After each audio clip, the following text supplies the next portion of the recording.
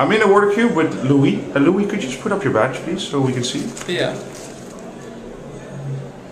Thank you.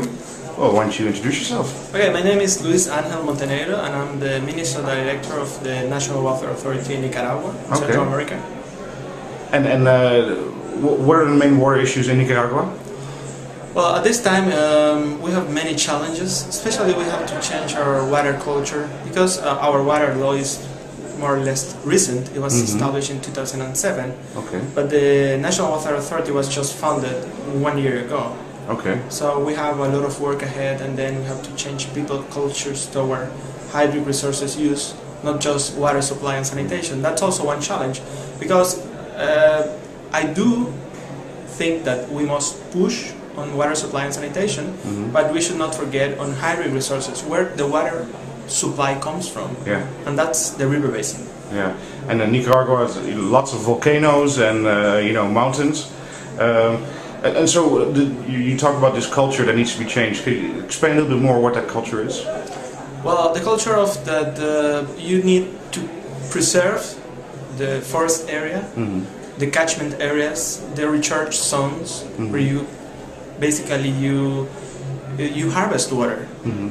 and then when you harvest water, you will have availability for irrigation, for hydropower, Mhm. for water supply and sanitation, for all the, the uses. But then not just focus on water supply and sanitation because if you just supply on the on the network itself on, on the water treatment plant, Mhm. then you will fail to harvest your water and then you may eventually just lack water. You may have the, the network, you may have the water treatment and then you, but you won't have water. Mhm.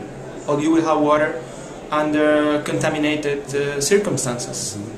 And then sanitation uh, is that is that just uh, you hear it a lot. Sanitation is di- more difficult, uh, you know, to reach the people. Uh, is that the same in Nicaragua, or is that not Well, so? also that's part of the cultural change Mhm. because when you talk about sanitation, you, you only think about separating the, the human excreta from the humans. Mhm. But sanitation is something wider. It's a wider concept because you also have to separate these excreta from from the aquifers, from from the water resources, because otherwise you will again get water contaminated. And then the approach is not just get the excretas away from humans, but dispose them in a way so that they don't hurt humans and they also don't hurt or don't damage the environment Mhm. and the hydric resources themselves.